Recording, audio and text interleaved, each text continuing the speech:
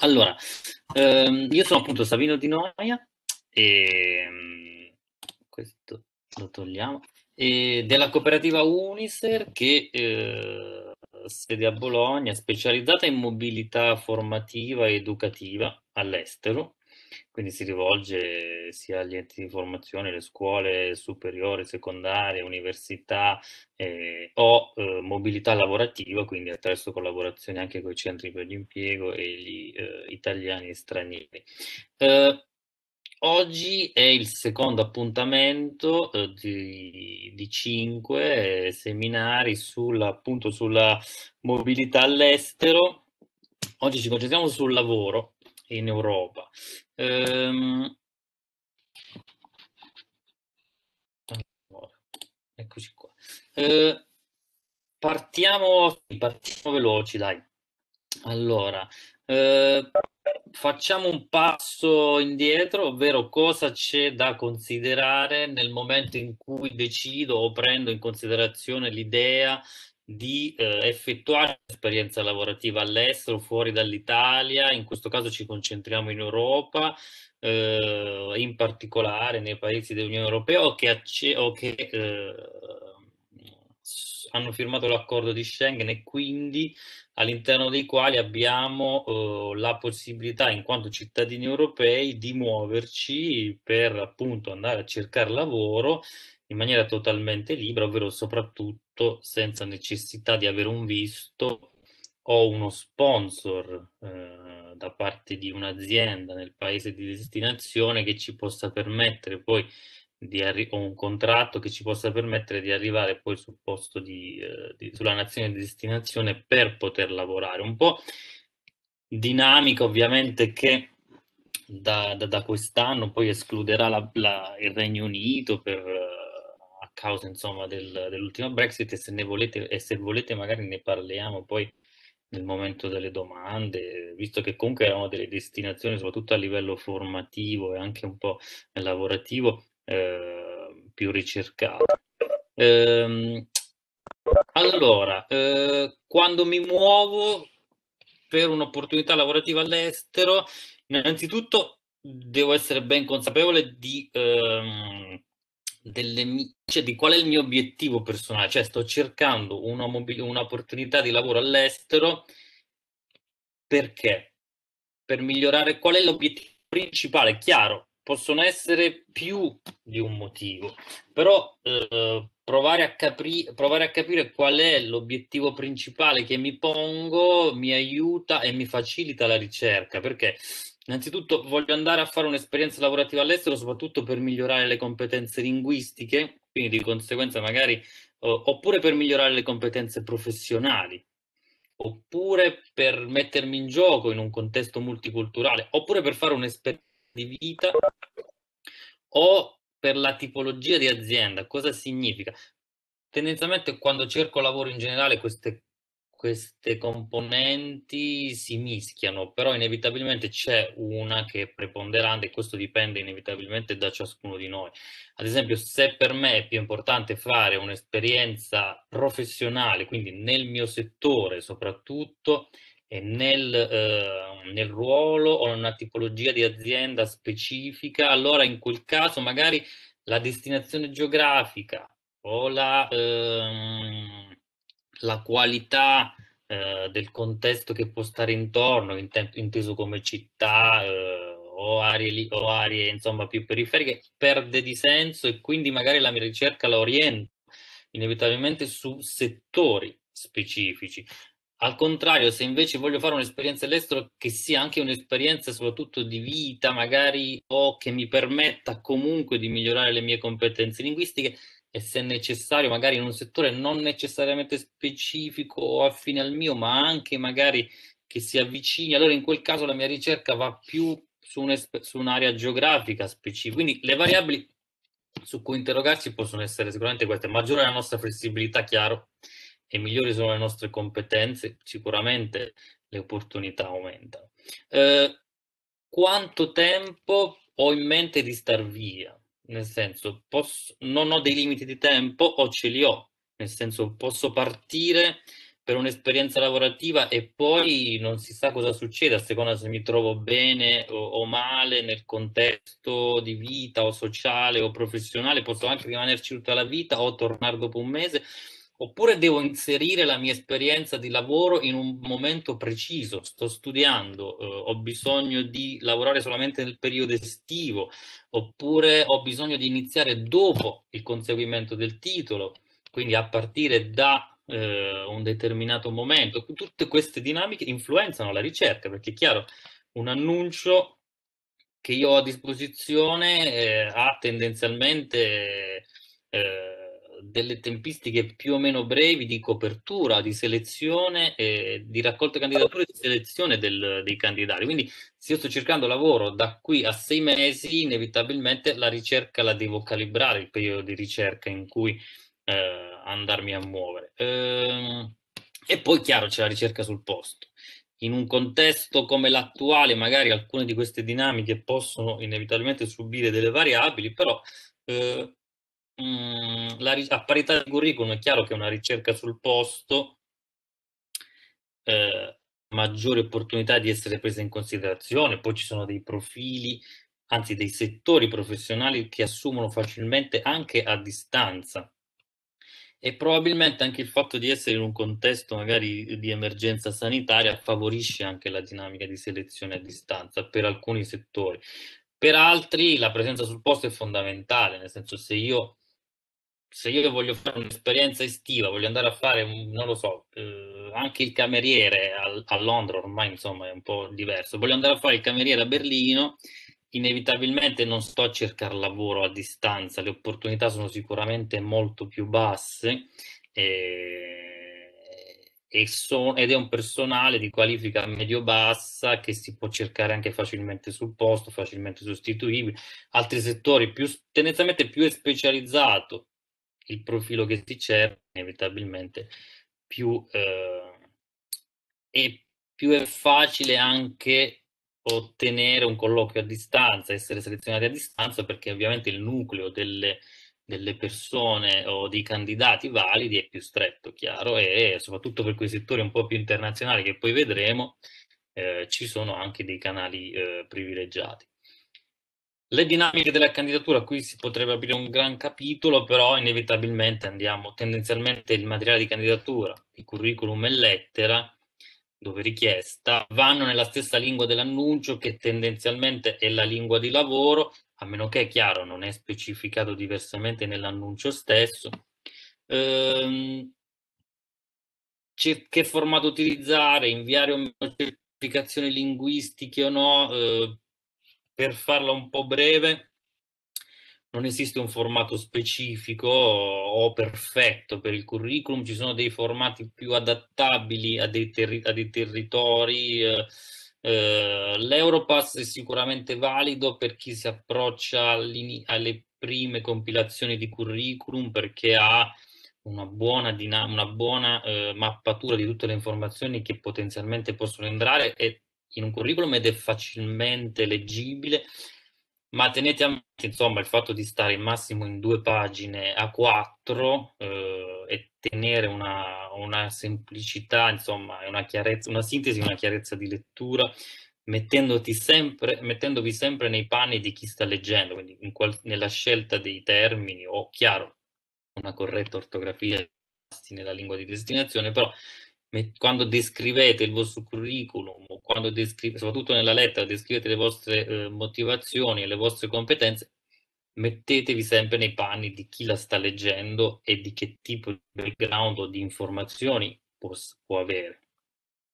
Eh, poi, se volete, torniamo nel, nel, momento delle domande ad approfondire questi aspetti. Inevitabilmente, per forza di cose, andiamo un po' più eh, rapidi in questo momento. Ehm, bisogna badare degli aspetti pratici, chiaro. Eh, per quanto ci si muova in un contesto di libera mobilità dei lavoratori all'interno dei paesi dell'Unione Europea e di quelli aderenti a Schengen, inevitabilmente ci sono dei burocratici, quando vado a cercare lavoro sul posto, per esempio, inevitabilmente in alcuni casi per eh, nella maggior parte dei casi ho bisogno di registrarmi dal punto di vista fiscale per poter firmare un contratto di lavoro eh, fiscale e sanitario e, e, nella maggior parte dei casi per poter incassare uno stipendio dovrò anche avere un conto corrente sul, sul territorio eh, nazionale. Eh, quindi organizzare tutti questi aspetti, prevederli, se vado anche in un paese che non è eh, Schengen, ad esempio se, se oggi andassi nel Regno Unito, tutta la dinamica di ricerca del lavoro sarebbe, è completamente stravolta rispetto a come siamo abituati, ma richiederebbe un'organizzazione maggiore, anche solamente nella necessità di avere un visto. Fino a settembre dovrebbe essere valida poi la carta d'identità, ma comunque in futuro quello è eh, l'aspetto burocratico. Quanto budget ho? Se vado a cercare lavoro sul posto, o, eh, ma anche se parto con un contratto già firmato, ho, ho bisogno inizialmente di fare un investimento, dovrò trovare un alloggio, dovrò anticipare dei costi, quindi anche da quel punto di vista la città o, o il paese dove vado influenza tanto. Non sarà lo stesso investimento iniziale se vado in Finlandia o se vado eh, a lavorare in Polonia. Eh, il colloquio inevitabilmente per molti casi si può fare anche un colloquio a distanza, è sempre più usato, ma poi probabilmente ci, ci verrà richiesto di andare di persona per, per effettivamente poi anche per l'eventuale firma del contratto. C'è anche la firma del contratto a distanza, sono sempre più utilizzate, ma eh, il colloquio e l'organizzazione dell'eventuale colloquio sul posto, quindi il vitto, viaggio, alloggio, sono da tenere a mente non soltanto in una dinamica di budget, ma anche in una dinamica organizzativa. Destinazione. Eh, è chiaro che eh, nella scelta di un paese di destinazione possono subentrare varie dinamiche personali. Mm, da un punto di vista di competenze c'è la competenza, c'è la dinamica linguistico-geografica che influenza, quindi la, la lingua di lavoro, che può non necessariamente essere la lingua del posto di destinazione, se vado a lavorare a Bruxelles, per esempio, non, probabilmente non mi viene richiesto il francese o tantomeno, insomma, chiaro, il, il singolo olandese. Però eh, posso scegliere la destinazione in base al settore, perché ci sono alcune aree geografiche che sono più specializzate. Eh, e se a me eh, interessa principalmente la ricerca un'esperienza nel settore specifico, allora potrei essere influenzato dalla scelta geografica. Ho i tassi di disoccupazione, è chiaro, eh, mi interessa tantissimo andare a lavorare in, in Spagna, però inevitabilmente c'è un tasso di disoccupazione più alto nel settore che eventualmente mi interessa e quindi potrei valutare l'esperienza in un'altra area geografica dove invece la possibilità di trovare lavoro è più ampia. Quindi ci settori lavorativi che sono detti più internazionali, ovvero ci sono quelle, eh, si intende quelle aree o quei settori eh, o que, anche quei dipartimenti all'interno di un'azienda stessa in cui eh, già è più facile che ci lavorano dei non dei non madrelingua, dei non residenti sul posto o delle persone che non si sono formate sul posto, perché legati ad attività cosiddette internazionali, ovvero che implicano una relazione con l'estero, con altri paesi e di conseguenza prendono in considerazione anche competenze linguistiche diverse di madrelingua, oltre a delle competenze ovviamente specifiche settoriali. E ci sono quei settori invece in cui l'offerta lavorativa è talmente alta che inevitabilmente una, la domanda di un paese specifico non riesce a soddisfarla e quindi a, le aziende vanno a pescare più facilmente anche all'estero. Sono attualmente, vedete, sono quelli un po' più richiesti, ovvero il settore informatico di informazione e comunicazione e il settore tecnologico, tecnici specifici in vari ambiti, eh, l'ambito ingegneristico, chiaro, sanitario, dal personale medico al paramedico, tutti quelli impiegati ovviamente lavorano in alle lingue, per cui sono richieste competenze plurilinguistiche o in madrelingua diverse rispetto alla lingua del posto. Gli ambiti commerciali che implicano scambi con l'estero, quindi soprattutto o che in, richiedono lavoro completamente in lingua inglese a prescindere dall'area geografica dove si trova. quindi finanza, vendite, commerciali, import-export, marketing, logistica soprattutto. E tutto quello che è internazionale, dalla cooperazione al terzo settore. Sono figure lavorative che inevitabilmente possono essere selezionate anche che oggi c'è bisogno di competenze specifiche che sul posto non si trovano eh, o numericamente non sono reperibili facilmente sul posto. Vi faccio vedere ad esempio il portale Eures, che poi magari analizzeremo con calma, eh, vi faccio vedere numericamente tutte le opportunità rivolte anche ai non residenti sul posto che passano attraverso i centri per gli impieghi pubblici, perché poi Eures è europea di centri per l'impiego pubblici.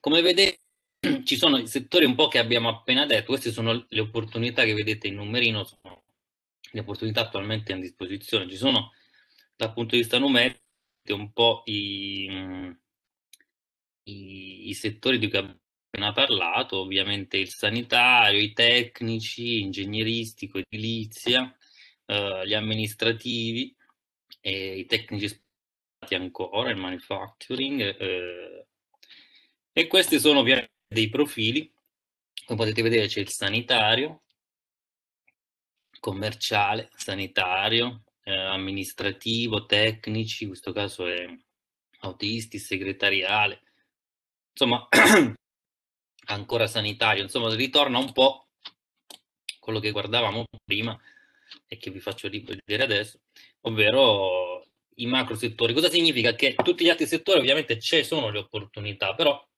numericamente ovviamente bisogna impegnarsi di più nella ricerca, perché evidentemente, per esempio, prendiamo il settore culturale, evidentemente nella destinazione X la domanda eh, di lavoro in ambito culturale è ampiamente soddisfatta da, dai lavoratori presenti sul posto e quindi più o meno difficilmente si va a pescare altrove, quindi la ricerca sul posto può essere sicuramente utile, o la richiesta di competenze specifiche che vado a trovare fuori dalla mia nazione è meno, eh, è meno richiesta. Um, qui possiamo andare anche abbastanza veloci. Ci sono alcune professioni che inevitabilmente per essere esercitate all'estero hanno bisogno che la qualifica o il titolo sia riconosciuto. Per farla breve, sono quelle, quelle professioni regolamentate eh, in cui c'è un albo, nella maggior parte dei casi, può essere per l'avvocato, per un medico, per un infermiere o anche spesso un insegnante, un architetto, che per esercitare nel paese X di destinazione non può andare sul posto eh, e semplicemente fare lo psicologo o eh, mettersi a insegnare nella scuola pubblica, ma ha bisogno di essere riconosciuto il proprio titolo per poter poi esercitare ambito pubblico. e, mentre per tutto il resto delle, delle, professioni, che sono poi l'80% di quello che resta, ovviamente è il datore di lavoro che decide che il nostro titolo e le nostre competenze siano idonei per quella posizione.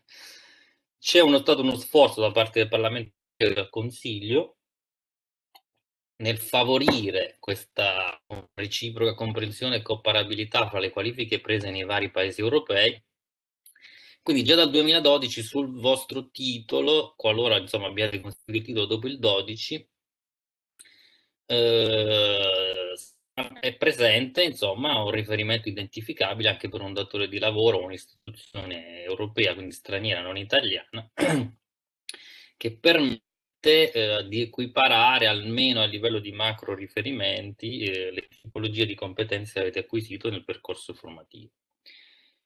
C'è in fondo l'ENIC NARIC che è un, è, un, è un ente che permette il riconoscimento ufficiale delle qualifiche dei titoli di studio negli altri paesi europei, c'è una sede in ogni paese, qualora magari abbiate bisogno o fosse necessario per voi avere un riconoscimento di questo tipo, potete poi cercare la sede che poi in questo caso è a Roma, ma la procedura può essere fatta tranquillamente a distanza. Eh, partiamo, andiamo un po' nel dettaglio. Come cerco lavoro eh, a distanza, perché la ricerca sul posto è tutto un altro capitolo. In questo caso molti, molti settori, allora, l'offerta web è molto ampia, c'è molta possibilità per tutti i settori. Oltre al fatto che si può andare anche and- sui, terri- sui classici canali di ricerca web che sono utilizzati dalle persone che vivono sul posto, pur non essendo noi sul posto. Il più classico, è, eh, qui vedete delle macro tipologie di ricerca. Allora, il più classico è il motore di ricerca. Ovviamente, se state cercando in un lavoro in un paese X, il motore di ricerca da utilizzare è il motore di ricerca col dominio del paese. Ad esempio, guardate questo qui per l'Olanda, cioè indeed.com è più comuni, ce ne sono decine, vi faccio vedere questo per esempio per l'Olanda, e ovviamente va sul dominio.nl eh, e qui abbiamo messo una parola tipo in, eh, abbast- ovviamente partiamo per scontato da un profilo classico, nel senso non parliamo olandese, ma vogliamo andare a lavorare in Olanda, vediamo se il nostro lingua italiana può essere utile in questo caso è una ricerca fatta per competenza linguistica, e vediamo che opportunità ci sono. Metto le parole chiave in inglese perché l'inglese è la competenza che io conosco e guardiamo che poi andiamo in quei settori linguistici, in quei settori eh, lavorativi di cui abbiamo parlato anche un po' prima, quindi amministrazione vendite, servizio clienti, eh, settore bancario, eh, servizio clienti, settore internazionale. Però l'importante è che quando facciamo la ricerca la facciamo nel, eh, utilizziamo un motore di ricerca locale, in modo tale che accediamo a opportunità che sono presenti sul posto e che vedono anche le persone che, che sono già sul posto possiamo cercare lavoro, in questo caso l'abbiamo calibrato per un profilo più vicino al vostro, ovvero da neolaureato, su portali specializzati. Ad esempio, un portale specializzato per lavoro per figure mm, che hanno da poco conseguito il titolo, da poco intendiamo, diciamo, 6-12 mesi o che lo conseguiranno a breve. Anche in questo caso ci rivolgiamo in un portale specializzato di lavoro per figure di, di, neo, di, di neolaureati, quindi andiamo da figura di assistant, può essere anche un po' di tirocinio, ma soprattutto assistant junior, eh, graduate job. Per esempio, questo è un, un esempio fatto in Spagna. Siti specializzati in questo settore ce ne sono e vedete sono opportunità volte a una determinata tipologia si può fare una scelta per lingua, una scelta per una scelta per profilo o andando direttamente con parole chiave. Stessa dinamica, vi faccio vedere. Eh, possiamo andare invece a fare una ricerca per settore. Se per me è importante andare a lavorare in un settore specifico, come dicevamo all'inizio, allora in quel caso ci sono dei portali specializzati per settore, magari contengono diverse aree geografiche o si concentrano su un'unica nazione, ma sono sicuro che su quel portale io ho un unico settore lavorativo, diverse figure, diversi livelli, ma un unico settore lavorativo. Ad esempio, voglio lavorare nel settore farmaceutico in Europa. Eh, un portale di questo tipo, Eurofarma Jobs, è abbastanza comune, ha un'enormità di opportunità nell'industria farmaceutica in varie nazioni che vedete qua, ma l'industria farmaceutica poi comprende tutto, posso fare il commerciale, eh, posso andare sul, sulle politiche direttamente regolatorie, sulla qualità, su ricerca e sviluppo, sull'ambito medico o direttamente nella produzione o nella ricerca. Sono tutti profili all'interno del macro settore, in questo caso faccio una ricerca per settore e vado su diverse aree geografiche, su diversi profili. Vedete che qua trovate opportunità in Danimarca, in Austria, in Belgio, ma tutte nel settore eh, farmaceutico. Stesso discorso vale per questi siti che vedete tra pareti, ce ne sono centinaia. Eh. Io poi vi spiego anche in che modo eventualmente avere un supporto personalizzato, individuale, perché la ricerca del lavoro all'estero è inevitabilmente influenzata dalle dinamiche personali di ciascuno di noi, così come abbiamo visto all'inizio, i vari fattori da prendere in considerazione, e c'è un supporto che poi vedremo si chiama Mobilitas a cui potete accedere gratuitamente e ricevere magari dei consigli anche individuali più personalizzati. Un'altra eh, dinamica utile nella ricerca di lavoro all'estero è andare invece su portali di area geografica, nel senso a me interessa lavorare in una nazione specifica o in una città anche specifica. Poi vediamo cosa c'è eh, in, quel in quell'area, se c'è anche un settore preciso per il mio profilo va benissimo, ma anche un settore affine va bene, l'importante è che vada lì. C'è per esempio, ad esempio, Green Startup Jobs, è molto comune, queste sono tutte opportunità di lavoro a Berlino ed è anche un po' settoriale, ovvero consente tutte le all'interno di startup, ovvero aziende eh, tendenzialmente in ambito digitale, eh, digitale tecnologico, come dicevo, un settore molto, in cui sono richieste molte persone, in cui si lavora tendenzialmente in inglese, perché inevitabilmente è transnazionale come tipologia di attività, ma potete vedere diversi settori, quindi siamo sicuri di finire a Berlino tendenzialmente in lingua inglese e andiamo su diversi settori, Dallo, dal più tecnico informatico, sviluppo software, al commerciale, a al marketing, a risorse umane, finanza, anche tirocini, per esempio, se siete magari interessati a una primissima esperienza lavorativa. Essendo a Berlino potete trovare anche opportunità inevitabilmente, in, se l'annuncio è scritto in tedesco è perché richiedono magari oltre all'inglese una base di lingua tedesca, per esempio. In questo caso il tirocinio potete trovare però opportunità anche in lingua inglese. E in questo caso quindi sono, eh, dicevamo, portali che ci permettono di cercare lavoro un'area specifica, in questo caso Berlino o per esempio Jobs in Copenaghen, va direttamente nella capitale danese. Si può cercare lavoro fine anche per competenza linguistica, cioè nel senso ci sono dei lavori dedicati, in questo caso essendo italiani, dedicati a madrelingua italiani.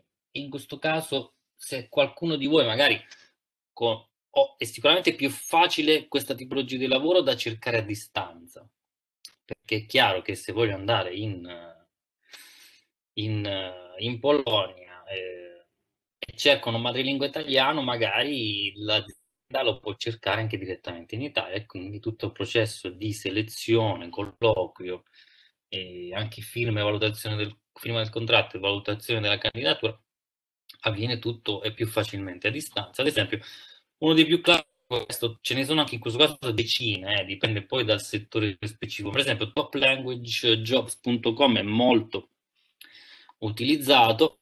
Il vantaggio è che posso scegliere l'opportunità di lavoro in base alla mia competenza linguistica, magari competenza linguistica di lavoro, nel senso se io riesco tranquillamente a lavorare in tedesco, posso andare a una ricerca per tedesco o combinare la lingua. Ad esempio, in questo caso le più grandi ovviamente sono le lingue più richieste, questo in generale un po' eh, in ambito dal punto di vista lavorativo, però vediamo ad esempio con italiano, vediamo in che settori finiamo, ecco vedete, customer, eh, customer advisor, quindi supporto clienti che possono andare dal digitale al turistico, eh, social media anche questo, eh, vediamo, REST Customer Service, Lisbona, eh, redazione contenuti, eh, analisi di qualità, di qualità ancora a Lisbona, eccetera. In questo caso mi interessa, so che essendo madrelingua posso lavorare in questo modo. La maggior parte di annunci di questo tipo richiedono un inglese intermedio, la competenza madrelingua e un, uh, un diploma di laurea, non, tendenzialmente anche non specifico nel settore commerciale o vendita. Dipende appunto sempre dalla tipologia, qual è il mio obiettivo di ricerca lavorativa, e quanta flessibilità ho dal periodo, dal budget, insomma tutta una serie di variabili. Eh, altre dinamiche lavorative sono ovviamente i siti aziendali, chiaro, eh, mi interessa lavorare in un'azienda X a cui ci arrivo per vari motivi, perché la conosco, perché ci ho già collaborato, perché mi, mi piacciono i loro prodotti, eccetera, o i loro servizi. In questo caso vado sulla pagina direttamente delle, di carriera o di opportunità vacanti, direttamente sul loro sito, perché molte aziende poi semplicemente non vanno su siti che raccolgono annunci, ma fanno esclusivamente selezione e raccolta candidature attraverso i propri siti. È utile anche uh, fra i social network, uh, il più utile inevitabilmente è LinkedIn. Un, sicuramente funziona, funziona non per tutti i settori, ma per alcuni in particolare. Uh, ad esempio abbiamo fatto una ricerca su Bruxelles dove mh, tendenzialmente i tre quarti delle opportunità sono in lingua inglese e, la- e c'è molto expat, cioè si lavora, sono, c'è molto personale straniero, quindi non uh, belga, che lavora uh, in, per ovvi motivi, Faccio, mettendo una parola chiave che è quella di junior che va inevita- che è legata al profilo che magari può essere più vicino al vostro, da neolaureato o dalle primissime esperienze lavorative. Quindi potete inserire junior, assistant, potete inserire nella lingua in cui intendete lavorare, anche la ricerca delle parole chiave è utile. Anche in questo caso andate da risorse umane a assistente esecutivo, quindi il settore bah, manageriale, marketing, analista, digitale. Anche in questo caso LinkedIn è utile, sicuramente per le aziende di medio-grandi dimensioni ci sono e utilizzano diverso, molto LinkedIn. E settori magari che coinvolgono aziende più medio-piccole dimensioni, anche questo è un po' generico come discorso, però sicuramente ci sono alcuni settori che eh, vanno e che li vedete anche un po' qua da dal marketing all'executive, al manageriale, all'amministrativo, a tutto quello che ha a che fare con le lingue, con l'informatico, il tecnico, il digitale, eh, i social media, eh, sono sicuramente attività che, che, su LinkedIn sono tipologie di aziende che sono presenti più facilmente e che utilizzano, lo utilizzano come canale di ricerca. Ad ogni modo, c'è il motore di ricerca di LinkedIn in cui vi ricordate, potete inserire anche la città che vi interessa direttamente, poi la parola chiave. Qua ovviamente è stato inserito il livello, quindi vai su diversi settori, però ovviamente se vi interessa una tipologia di settore specifico o di ruolo, inevitabilmente lo inserite poi nel, eh, nella lingua di destinazione o nella lingua di lavoro. un'altra dinamica utile, magari mi interessa, posso fare anche un, posso fare anche un mio database di aziende. Mi interessa lavorare nel settore, eh, non lo so, eh, import-export, posso andare a recuperare un annuario aziende del, di un'area geografica X o Y, ce ne sono facilmente su internet, e andare a vedere tutte le aziende che lavorano in import-export in Danimarca o con, che lavorano con l'Italia, in questo caso andarle poi sito per sito e ritorniamo qui a vedere se le loro opportunità sono presenti su siti aziendali e quindi eh, sono presenti direttamente su siti aziendali oppure se si rifanno altri siti o, o se si rifanno anche ad agenzie interinali per la ricerca del lavoro, ed Hunter, eccetera, eccetera. Camere di commercio anche, ma per adesso lo tralascerei, non utilissimo, ma sicuramente qualche opportunità c'è. Ci sono anche i servizi pubblici o privati per la ricerca del lavoro, questo dovete saperlo. Eh, il portale Eures che abbiamo visto prima e la rete dei servizi per l'impiego pubblici, quindi tutte le opportunità che viaggiano attraverso il servizio per l'impiego pubblico e che sono aperte anche a persone non residenti sul posto vengono appunto pubblicate su, eh, sul, sul loro sito. Ci sono anche i servizi per l'impiego locale, ad esempio io posso cercare lavoro in Germania anche sul servizio di pubblico di impiego tedesco o su quello francese se lo cerco in Francia, inserendo la parola chiave che mi interessa, vi faccio vedere al volo, ad esempio questo è Pôle emploi cerco opportunità per eh, persone che parlano italiano, anche in questo caso ci sono le offerte, come vedete, eh, in cui c'è questa parola chiave. Um, altra dinamica sono le agenzie interinali, queste sono molto utili se siete presenti sul posto. Uh, o anche a distanza, chiaro, la candidatura può avvenire tranquillamente anche a distanza. Le, uh, ogni, ad ogni modo cercate la sede del posto. Le più conosciute le trovate, ADECO, Manpower, eccetera, eccetera, e vedete insomma l'estensione del dominio e poi della, del, e quello della, della nazione di riferimento. Uh, Passiamo allora. Scusate se interrompo, volevo ricordare l'orario, Savino. Sì, sì, Siamo sì. alle 15.45.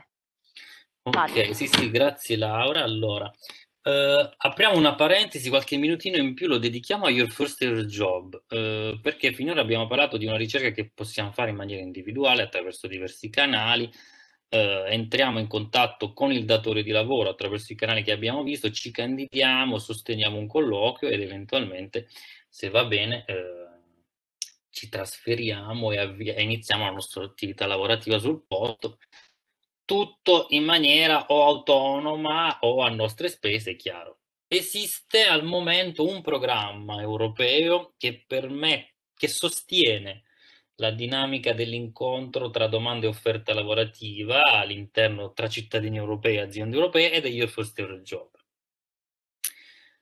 Um, Your First Euro Job appunto è un programma di supporto alla mobilità professionale. Uh, essendo un programma europeo ci sono dei contributi, contributi, economici per chi cerca lavoro in un paese, in cui non è paese europeo in cui non è residente e per l'azienda che assume un, un cittadino europeo che assume un cittadino europeo eh, che, proviene, che non è residente sul posto. Cosa, eh, che tipologie di contratti supporta? Eh, contratti di lavoro, apprendistato da almeno sei mesi o tirocinio da almeno tre mesi, in un paese appunto in cui non siete residenti, paesi europei in cui non siete residenti, tra i 28 stati dell'Unione Europea e Islanda e Norvegia che hanno aderito. Eh, per partecipare serve una cittadinanza europea, a prescindere eh, che, sia itali- eh, che, sia italiano o meno, e avere un massimo di 35 anni.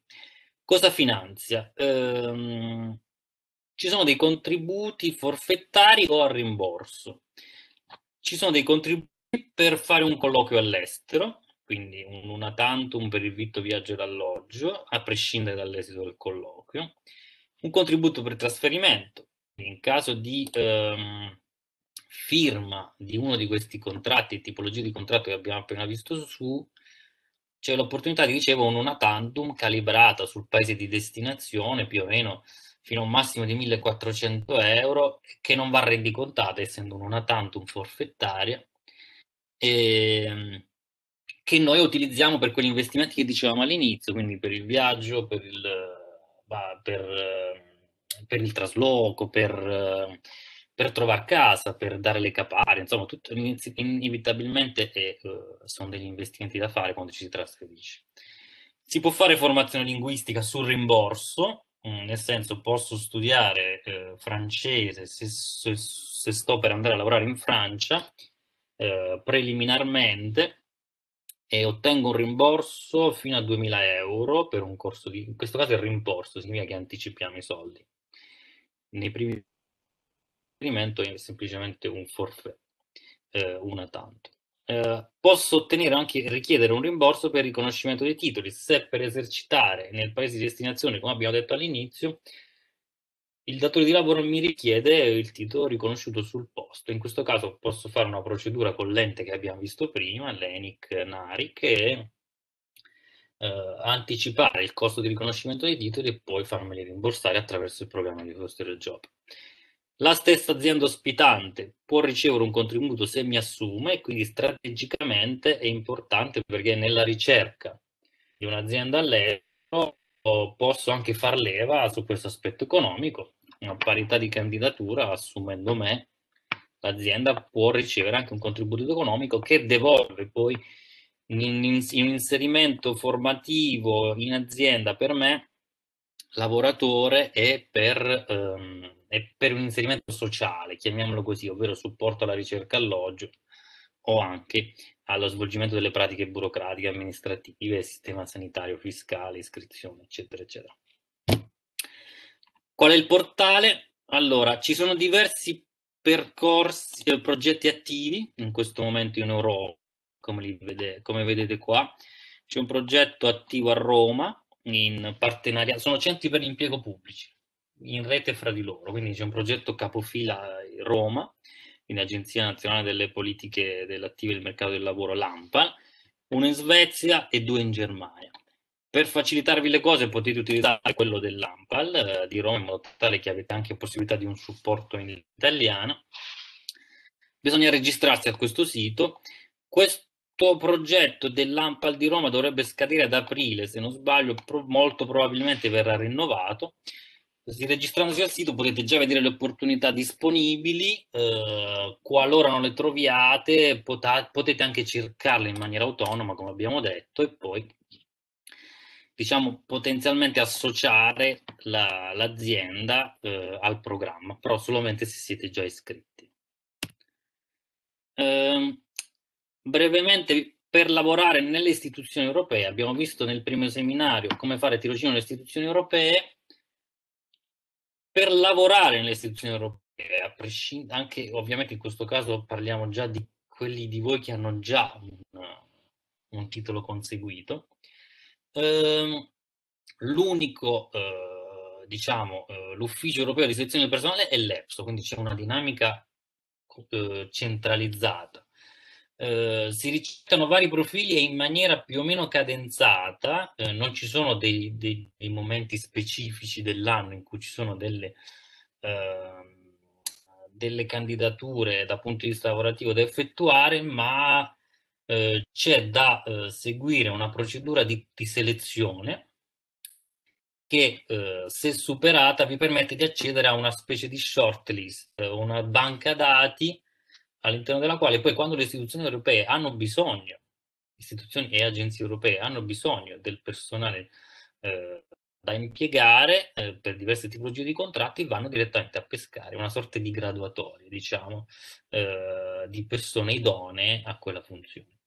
Eh, I settori sono veramente variegati, non, questi sono i principali, giuridico, economico, amministrativo, linguistico, ricerca, scientifico, eh, e anche i profili. Eh, potete trovare gli annunci direttamente sul gli annunci, insomma, l'apertura dei bandi sul, sul sito dell'EPSO che vi faccio vedere a breve o utilizzare eh, portali utili come quello di Eurodesk che in modo tale che vi segnala di volta in volta le opportunità che si presentano Potete anche vedere i test, nel senso sul portale dell'EPSO sono presenti eh,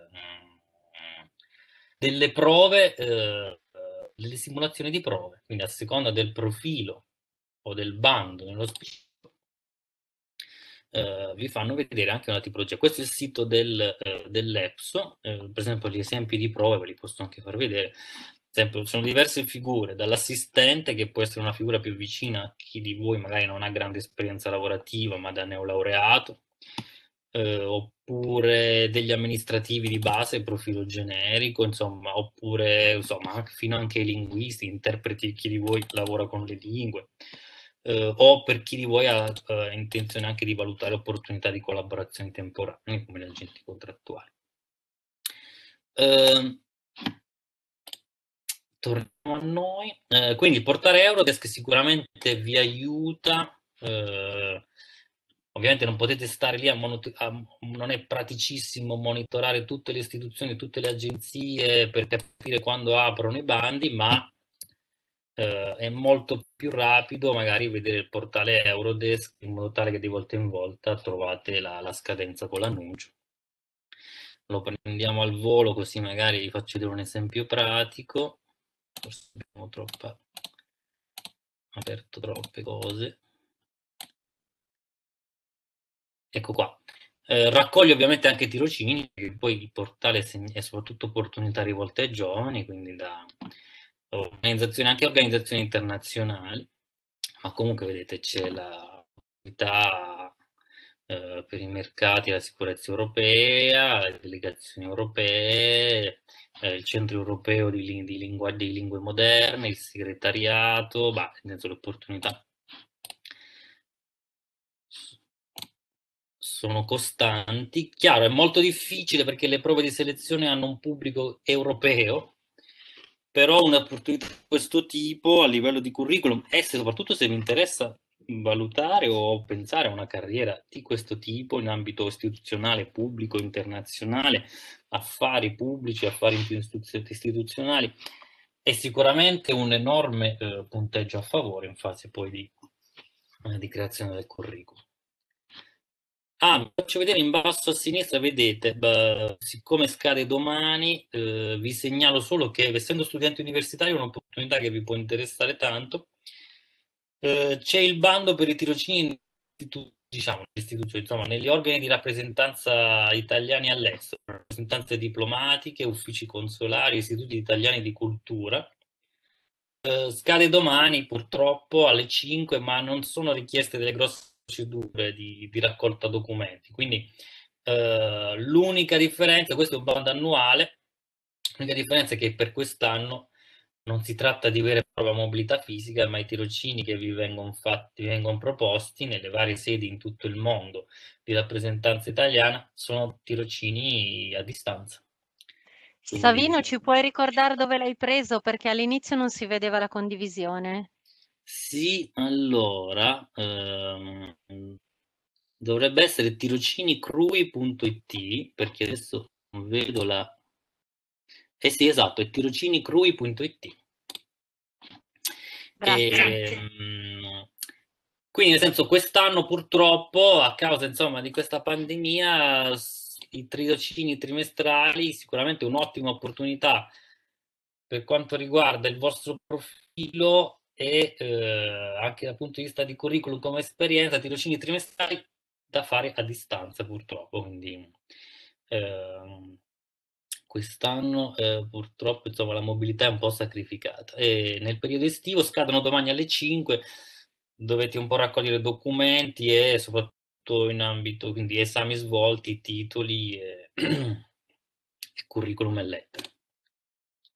Chiudo eh, facendovi vedere lo sportello Mobilitas. Um, all'inizio abbiamo detto che la scelta di fare mobilità all'estero, in questo caso lavorativa, ma anche per studio, lavoro, per studio, tirocinio o anche volontariato, è, molto, è una scelta personale.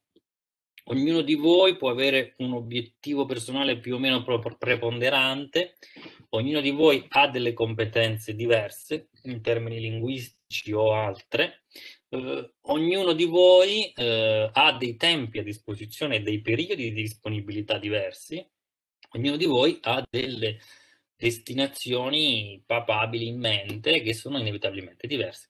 Eh, può esservi pertanto utile avere un supporto individuale o personale, vi, vi sarà utile sapere che c'è uno sportello gratuito messo a disposizione dallo Europe Direct della Regione Emilia Romagna in collaborazione con la cooperativa Uniser che, off che offre appunto informazione, orientamento e accompagnamento alla mobilità all'estero di varia tipologia attraverso dei colloqui individuali a distanza. Si prenotano attraverso un'agenda online registrandosi su questo sito che vedete mobilitazionline.net nel vostro caso qui vedete supporto alla mobilità eh, c'è la possibilità insomma di una volta di andare su un'agenda online e scegliere appunto la, eh, l'ora e il giorno disponibili e poi si viene appunto richiamati per un colloquio con un advisor.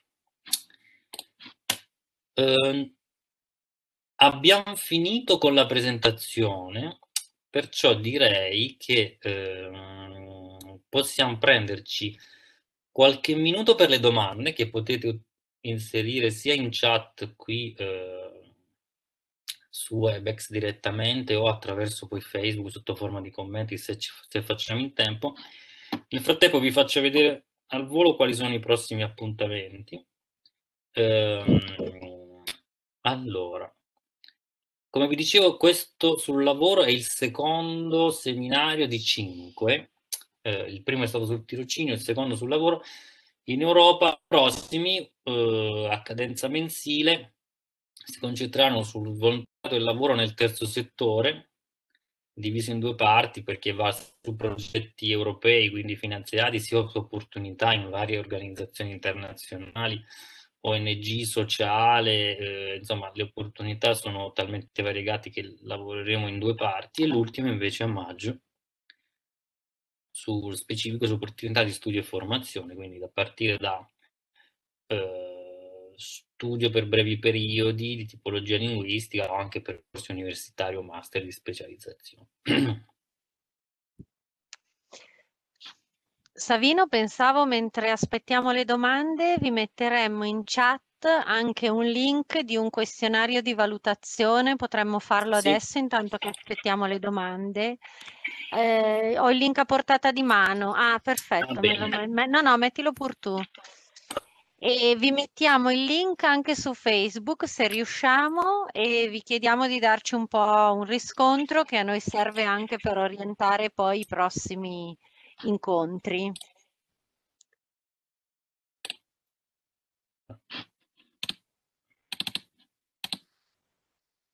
Vediamo se riesco.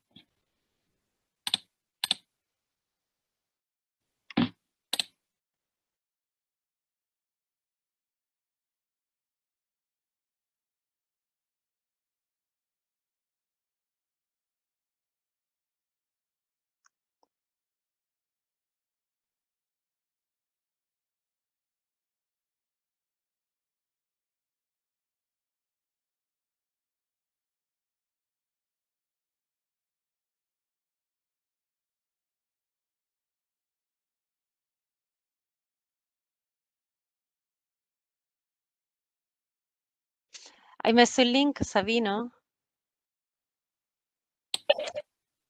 Ah sì, perfetto. Allora, nella chat trovate all'inizio il nostro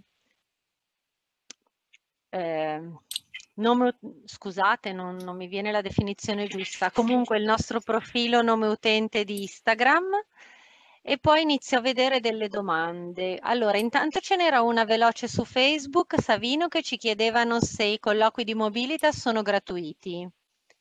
Sì, sì, sì, un servizio pubblico offerto in collaborazione con l'Europe Direct e, la, e, e Uniser, cooperativa Uniser, totalmente gratuiti, sì. Perfetto. Poi sulla chat ci chiedono se esistono canali preferenziali in cui le istituzioni culturali, musei fondazioni pubblicano offerte di lavoro, ovviamente in Europa. Sì, sì, sì, sì, ogni settore ce li ha. Ovviamente all'interno della macro area culturale ci sono diversissimi settori, come ad esempio, esempio i musei, per esempio, e ulteriormente poi divisi in aree geografiche. Per esempio ci sono portali che fanno solo eh, musei a livello internazionale oppure portali che fanno solamente aspetti culturali in una nazione specifica, per esempio in Belgio. In questo caso, come, come vedete, essendo molto individuale eh, tutto l'insieme delle variabili della ricerca del, del lavoro all'estero, l'ideale sarebbe fare una chiacchierata a livello individuale e capire nello specifico quale o quali settori o quali o quali eh, aree geografiche o anche competenze linguistiche possiede poi il candidato. In questo modo riceve poi personalmente una serie di eh, canali ottimali, profilati soprattutto, in cui poi ottimizzare la ricerca in modo tale da non perdersi poi su, su, su, su internet o eh, sì, o, spendere, per, o spendere tempo su siti magari generalisti dove l'opportunità utile è una su cento magari.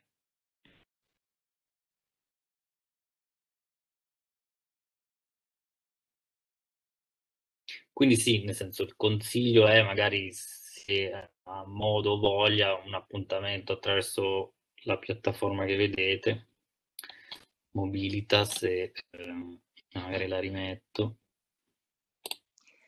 Allora Ignazio, se abbiamo qualche domanda su Facebook, puoi leggercela?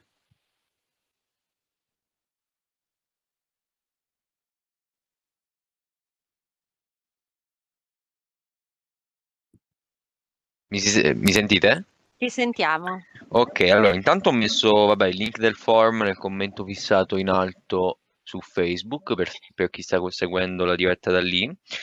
E allora c'è una domanda che dice, Savino, per una persona che non ha la cittadinanza europea e che vorrebbe lavorare nelle organizzazioni internazionali, avete consigli per alcuni siti di ricerca? Allora, innanzitutto non ci sono dei siti di ricerca lavorativa per cittadinanza, ma inevitabilmente quindi i siti tendenzialmente sono, sono, sono buoni per, per tutti. Eh, l'unica dinamica è che eh, quando eh, i cittadini europei, se si muovono in un'azienda che ha sede in un paese dell'Unione Europea eh, o nei paesi aderenti a Schengen, hanno facilità, chiaro, di movimento perché eh, non hanno bisogno di una documentazione o di una dinamica di ricerca che invece è richiesta a un, paese, a un, a un cittadino che viene da un altro paese, eh, da un paese non europeo. Cosa significa? Eh, bah, è un po' la stessa dinamica che si presenta adesso per un cittadino italiano che vuole andare nel Regno Unito, eh, così come un cittadino non europeo che magari vuole venire in Italia, ovvero per, ci vuole tendenzialmente per un'opportunità, allora, non posso andare fisicamente sul posto a cercare lavoro, a meno che ovviamente non sono già presente per altri motivi e ho dei permessi di residenza o di soggiorno particolari. Eh, non posso andare sul posto a cercare lavoro, ma eh, ho bisogno di un visto, un visto di lavoro. Per avere un visto di lavoro ho bisogno che ci sia un'azienda sul posto disponibile a ospitarmi. Si chiama lo sponsor fondamentalmente. Un po' la dinamica che ci sarà poi in seguito alla Brexit. Quindi, ehm, però, se è un cittadino extra eh, UE che però è già presente sul posto perché magari sta studiando qua, eh, sicuramente magari avrà un visto per studio probabilmente o un permesso di soggiorno che gli permette di studiare sul, uh, in Italia, in quel caso in teoria non sarebbe autorizzatissimo a cercare lavoro perché il visto di studio ti dà la possibilità di stare sul posto per studiare. Uh, però la presenza sul posto magari può aiutare perché poi la firma del contratto è eh, una volta finito il visto di studio e la, la, possibilità di lavorare te la dà e di stare sul posto te la dà un contratto di lavoro che magari si può, se uno è presente già sul posto può più facilmente trovare e avere la sponsorship e quindi puoi restare in automatico. Altrimenti poi il visto di studio ha una scadenza entro la quale anche dopo il conseguimento del titolo ti dà la possibilità forse di cercare un po' di lavoro ma poi eh, termina e quindi è inevitabilmente obbligati ad andare via. Ad ogni modo i portali, i canali e le informazioni a disposizione vanno a prescindere dalla, vanno a prescindere dalla, dalla nazionalità, dalla cittadinanza. Ad esempio, in questo caso anche un cittadino extra UE che cerca lavoro nel Regno Unito avrà a disposizione tutta una serie di canali o di database che abbiamo anche noi a disposizione che possiamo offrire e in questo caso è equiparato tranquillamente a un cittadino non europeo. Un italiano come un extra UE adesso cerca allo stesso modo lavoro in Europa. Fino a settembre per gli italiani e i cittadini UE basterà ancora la carta d'identità, però da dopo eh, ci vorrà passaporto per andare sul posto, ci vorrà uno sponsor ci vorrà un'azienda da cercare a distanza o disposta ad assumerci se non siamo già sul posto.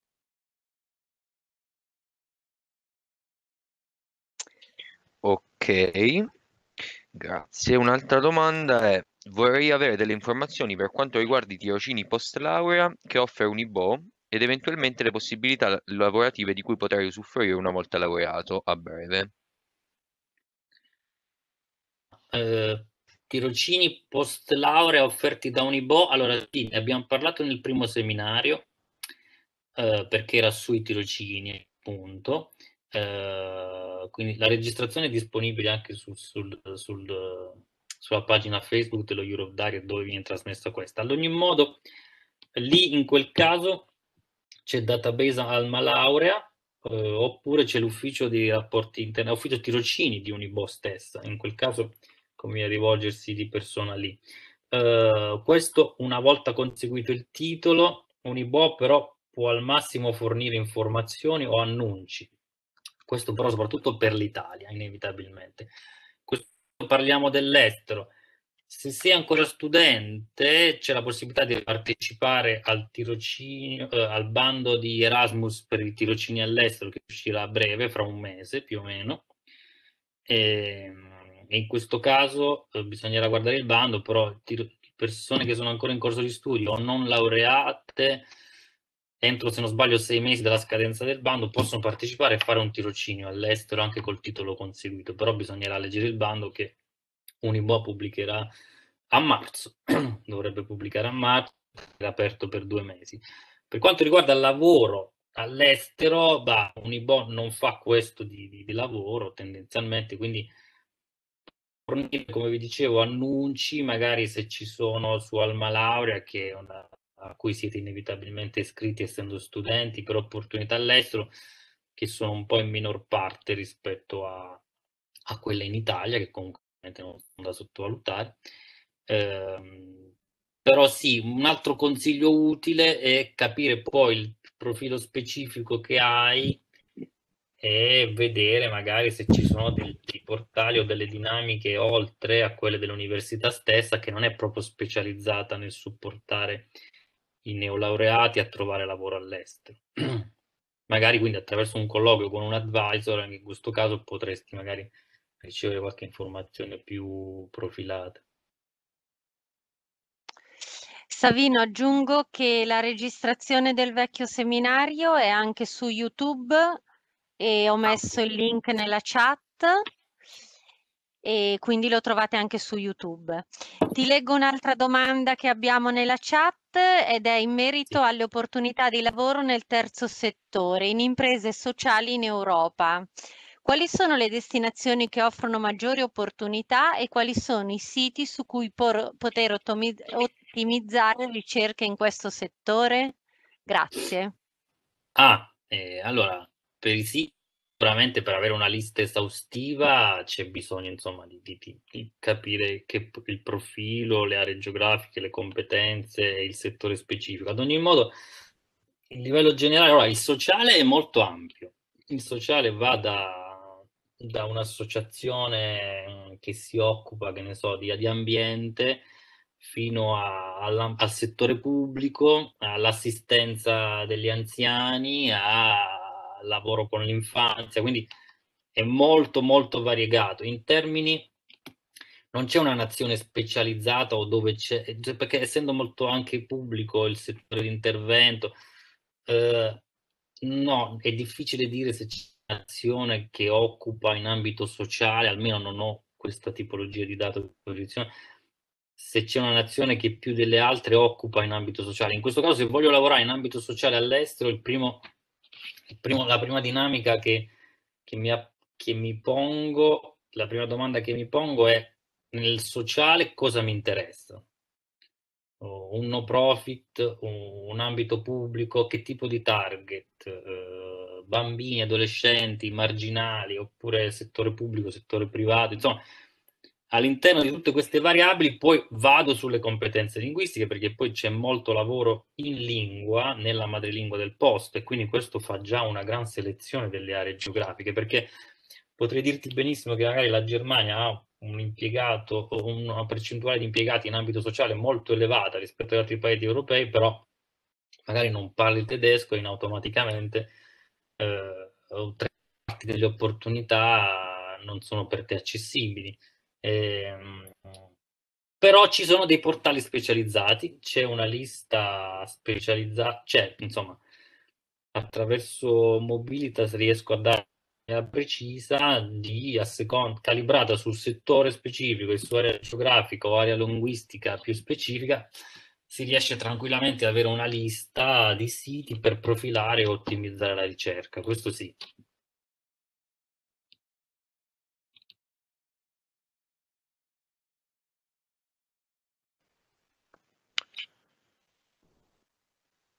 E te ne leggo un'altra dai commenti di Facebook, Savino. E suggerimenti per ricerca lavoro o tirocinio in Europa in ONG, area progettazione. Ah, allora, area progettazione è mh, mm, il consiglio, è una ricerca un po' particolare perché non esiste eh, un, un portale specializzato sui progettisti europei. E il motivo è semplice perché a livello europeo. Il motivo è semplice, neanche a livello nazionale, è, semplice perché la progettazione, chiamiamola così, insomma, in maniera molto generica, la può fare chiunque, la può fare una singola organizzazione giovanile composta da tre persone fino a un ente pubblico, a un'azienda privata, a qualsiasi istituzione, azienda, in qualsiasi settore, eh, dalla formazione al, ma persino al marketing, alla ricerca, all'ambiente, a, al sociale, può accedere ai bandi europei. Cosa significa? Che all'interno di questo ente c'è una figura, una o più figure che si occupano poi della cosiddetta di progettazione che in automatico ha un ampio raggio che va dall'ideazione fino poi all'implementazione e alla rendicontazione. Significa che non sempre la stessa persona che fa il progettista poi si occupa di tutte le fasi del progetto. Morale della storia, come faccio a cercare un lavoro in progettazione europea in Europa? Allora, eh, un trucchetto utile può essere innanzitutto selezionare l'ambito di, di intervento, perché un, un progettista europeo magari eh, sa fare progetti in ambito sociale, ma poi magari non li sa fare in ambito ambientale o non sa fare oppure in ambito infrastrutture o in ambito eh, giovanile, per esempio. Allora, come faccio? Bah, c'è un metodo abbastanza semplice e banale, che ne so, mi interessa lavorare nel settore ambientale, individuo il bando eh, europeo che, eh, che, si occupa di ambiente nello specifico, ad esempio LIFE, per esempio. Eh, essendo bandi pubblici, sono tenuti a pubblicare chi sono tutti gli enti beneficiari in ogni anno di tutti i progetti. In quel modo io so a livello europeo tutti gli enti che hanno presentato un bando LIFE o che l'hanno provato, che ci stanno lavorando o che ci hanno lavorato.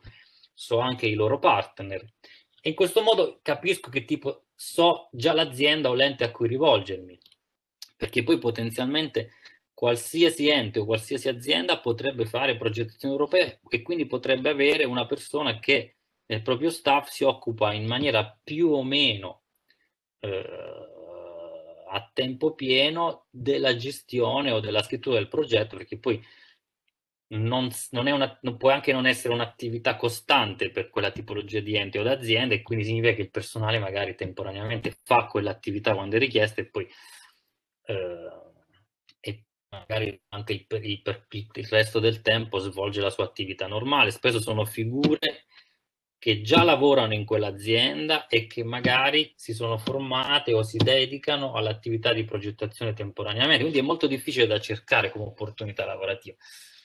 Però, per esempio, un'attività utile può essere quella, voglio lavorare nella progettazione nell'ambito giovanile, allora vado a prendere i programmi di Erasmus per giovani, che sono SVE per esempio, vedo tutte le associazioni giovanili che lavorano con lo SVE o che hanno avuto progetti approvati in SVE, so in automatico che c'è qualcuno che se ne occupa e che potenzialmente potrebbero cercare persone in quel settore. Gli annunci ci sono, chiaro, non sono però così comuni per il discorso che vi dicevo prima. Non è facilissimo trovare una persona che si occupa di scrittura di progetti per, per full time tutto l'anno. Quindi è anche difficile da intercettare come opportunità lavorativa. Leggo una domanda dalla chat. Se finirò un tirocinio in luglio-settembre, posso fare domanda per un tirocinio? Scusate, se finisco l'università in luglio-settembre, potrò fare un tirocinio a partire da, mar a partire da marzo? C'è scritto 2020, ma immagino che si intendesse 2021, ovviamente. Uh, Quindi è una questione di tempi, se ho ben interpretato la, la domanda, finendo l'università quest'estate o a settembre, se si riesce a partire per marzo, che poi diventa 2022. intendi, eh, se si intende un tirocinio all'interno del bando dell'università, eh, penso Bologna, insomma, l'università a cui appartieni, in quel caso le tempistiche sono vincolate dal bando. Nel senso vi dà delle tempistiche di candidatura e vi dà delle tempistiche obbligatorie entro cui svolgere il tirocinio. Eh, se è ammissibile per bando va benissimo, ma l'altra dinamica che devi tenere a mente è poi l'azienda, nel senso una volta trovata la, la, se tu hai disponibilità da marzo in poi, quando farai candidature su annunci, li farai con sei mesi di differenza e magari l'azienda, bisogna vedere se l'azienda ha disponibilità a, a, o immediata o al medio-lungo termine e quindi è una questione che dicevamo anche prima di flessibilità, nel senso in questo caso è una dinamica di domanda-offerta lavorativa. Se c'è un annunzio tendenzialmente in tempi brevi, quindi che ne so, 15 o massimo un mese, quella posizione viene selezionata. Però il bando, per esempio, dell'Università di Bologna ha dei vincoli particolari, non è proprio una dinamica di ricerca di lavoro a mercato, quindi inevitabilmente le aziende firmano un contratto di, di formazione, un, tir, un tir, di tirocinio formativo che, in cui accettano o meno le caratteristiche del bando e, e soprattutto magari sono più invogliate ad ospitare studenti per un tirocinio breve attraverso l'università perché non hanno l'obbligo di retribuire il candidato, è anche un vantaggio per l'azienda ed anche perché un pochino più facile trovare un tirocinio con il programma Erasmus Placement, eh, il vecchio Erasmus Placement, Erasmus per tirocinio all'estero. No, in realtà adesso sto rileggendo la domanda, l'ho interpretata io male, ho capita io male.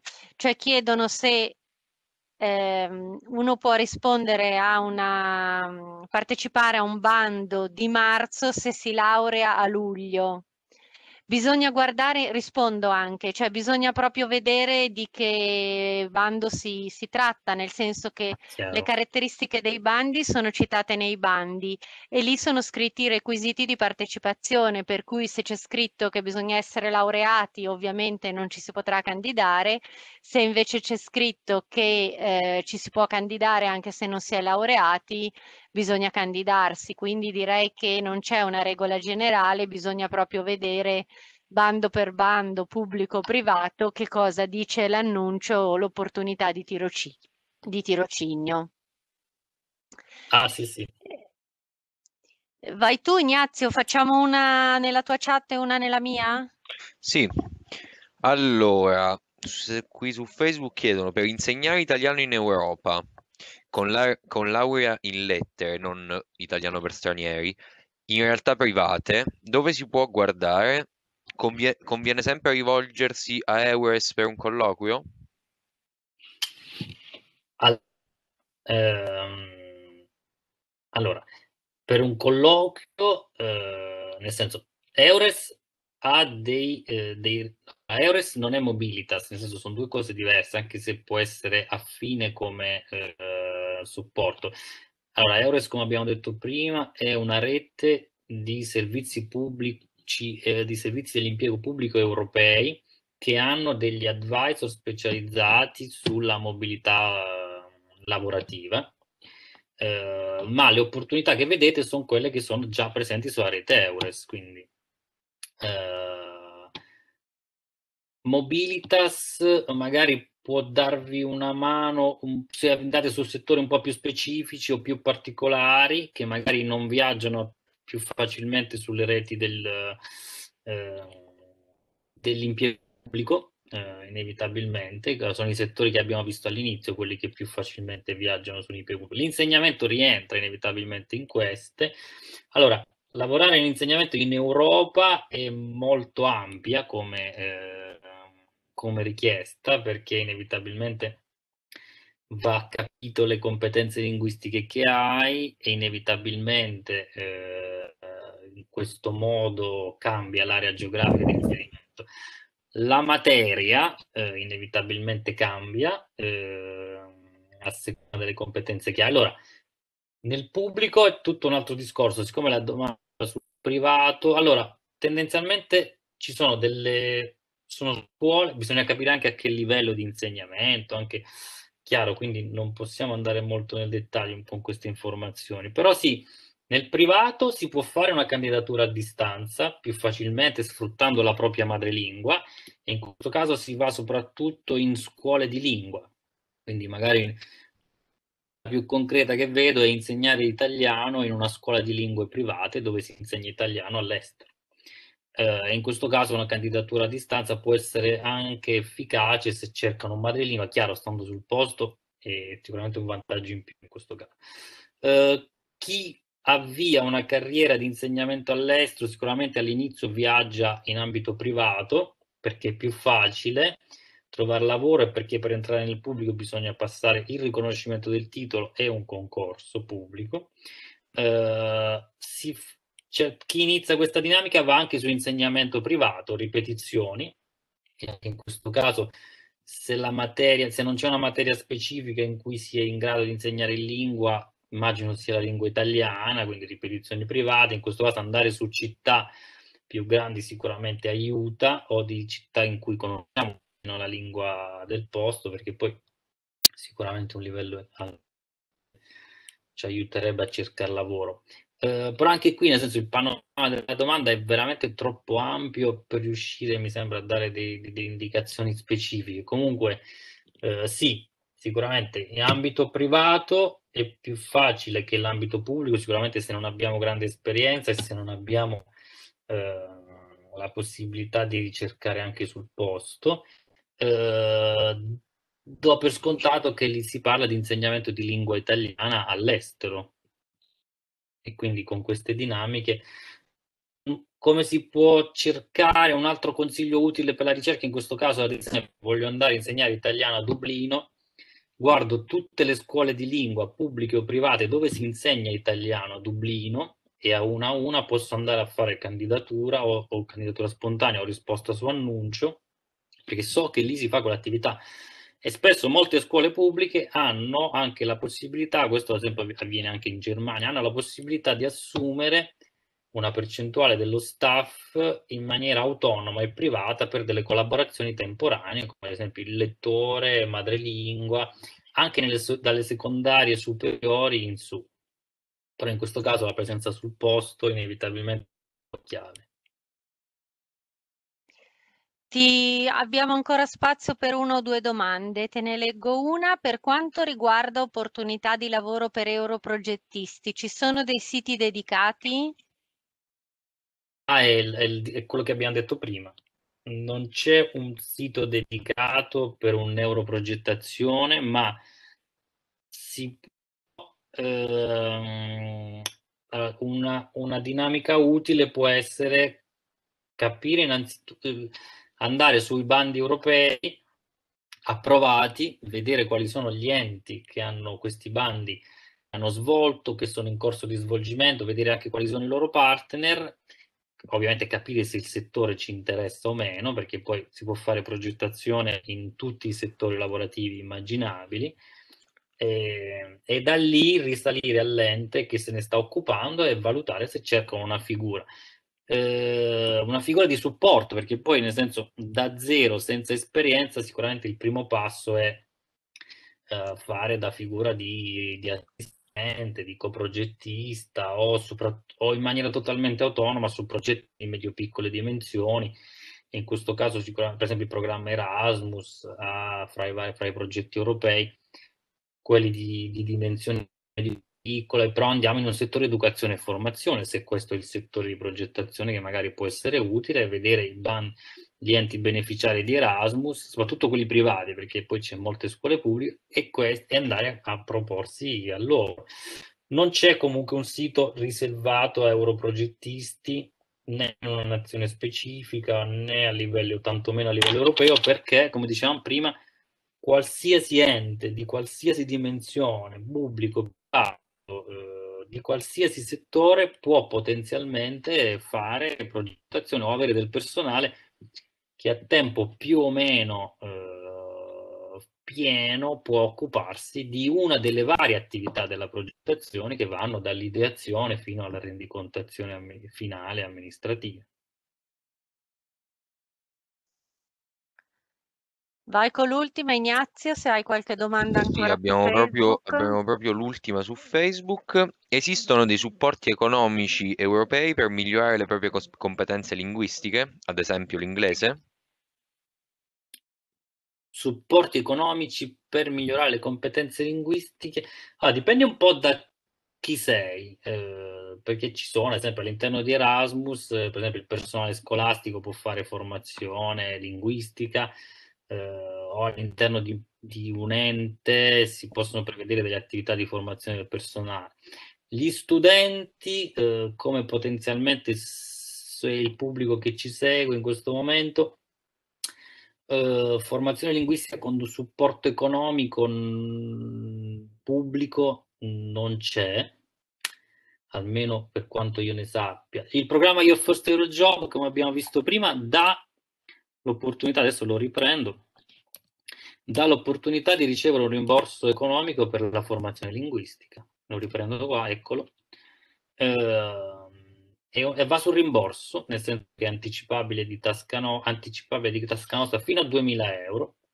E dipende dall'ente gestore. Per esempio, fino a qualche anno fa, anche noi di Uniser avevamo, aderivamo a Your First Euro Job e davamo un rimborso linguistico fino a 2000 euro per una formazione in lingua o mh, nel paese di residenza o nel paese di destinazione, a prescindere se si aveva trovato lavoro o meno, ma come fattore preliminare per la ricerca, per aiutare e supportare la ricerca lavorativa. Potete chiedere in questo caso il portale che abbiamo visto prima, yourfirsteurojob.eu, all'ente gestore, che in questo caso è l'AMPAL, Servizio Pubblico per l'Impiego di Roma, la città metropolitana di Roma, se la formazione linguistica, il contributo che Io Foster Job dà per la formazione linguistica, è legato o meno alla, all'aver trovato o meno un'opportunità lavorativa. Eh, Savino, a proposito di questo mi vengono in mente altre due cose. Ovviamente anche qui la risposta va un po' calata rispetto al livello di formazione e di conoscenza linguistica che la persona ha già. Però mi vengono in mente da una parte i centri salto che forse non danno un supporto economico, però ci sono delle realtà che, che fanno fare dei corsi proprio dei corsi di lingua, quindi attraverso, correggimi se sbaglio Savino, questo, attraverso questi centri salto è possibile proprio trovare dei corsi ai quali si può partecipare con le spese coperte. E poi ci sono anche delle esperienze trasversali che si possono fare. Eh, se ad esempio partecipando a uno scambio giovanile, che è un incontro di giovani, in genere si parla in inglese, in francese o in tedesco, per cui anche quello può essere un modo spesato per esercitarsi praticamente nell'uso della lingua. Quindi anche qui le opportunità sono un po' tante, come abbiamo detto tante volte, vanno un pochino calate sulla persona per capire bene quella persona specifica di che cosa ha bisogno e cercare poi qual è l'opportunità più, più adatta per rispondere a quel sì, bisogno. Ne, guarda, ne parleremo nei prossimi incontri perché quelli che hai detto sì, sono delle modalità in cui, chiaro, non si va prettamente a fare formazione linguistica, ma sono delle opportunità finanziate che si va in ambito insomma, di volontariato o formazione in generale, eh, da programmi tendenzialmente, può essere Erasmus nella maggior parte dei casi, che vi permettono di vivere dei momenti all'estero in cui praticare 24 ore su 24 la lingua di lavoro, che è la lingua inglese, all'interno di eh, corsi di formazione specifiche, in qualsiasi settore, dall'ambiente a, alla cultura, al teatro, insomma, veramente qualsiasi settore, in lingua inglese con dei formatori. E quindi più che studiarlo per una certificazione, l'inglese in quel caso sono delle modalità senza costo per praticarlo, oppure momenti di volontariato, anche in questo caso finanziati da, da bandi europei, eh, all'estero con stranieri totalmente in lingua inglese, con tematica X, ma con lingua veicolare, lingua inglese. Eh, sì. Anche il tirocinio stesso che si fa attraverso l'università all'estero, se si fa in lingua inglese o si va in un paese madrelingua eh, inglese o anche in altra lingua, inevitabilmente l'esperienza professionale in lingua inevitabilmente, non è il motivo principale, ma inevitabilmente aumenterà col tempo il nostro livello di incompetenza linguistica, è la presenza sul posto, quindi la, la quotidianità poi da, da, da, vivere sul posto per il periodo di medio-lungo termine che di durata dell'esperienza lavorativa all'estero, inevitabilmente eh, ci fa inevitabilmente aumentare la nostra competenza in inglese. Non è un momento formale, eh, non ci dà certificazione, ma dà un'utilità sicuramente pratica. Benissimo, io direi che a questo punto possiamo chiudere. Ricordo che oltre potete seguirci oltre che su Instagram e su Facebook anche attraverso la nostra newsletter che si chiama Monitor Europa. Vi abbiamo messo in chat il link per iscrivervi e attraverso la quale potete rimanere aggiornati su varie tematiche di attualità europea e rispetto a tutte le cose che organizziamo. Se Savino non hai niente da aggiungere, vado, eh. No, visto che c'erano molte domande personalizzate o individuali per forza di cose, se avete voglia e modo, un colloquio individuale, vedete in schermata, potete prenotarlo e in quel caso anche avere semplicemente una lista di, di canali profilati o due consigli specifici su, calibrati sul nostro profilo può essere una chiacchierata utile. Benissimo. Ringrazio tutti per la partecipazione, Savino per l'organizzazione e tutte le informazioni preziosissime che ci ha dato. Ringrazio anche chi dietro le quinte ha fatto un po' di assistenza a questo seminario e appunto ci vediamo il mese prossimo col tema volontariato. Grazie a tutti e buona serata. A presto.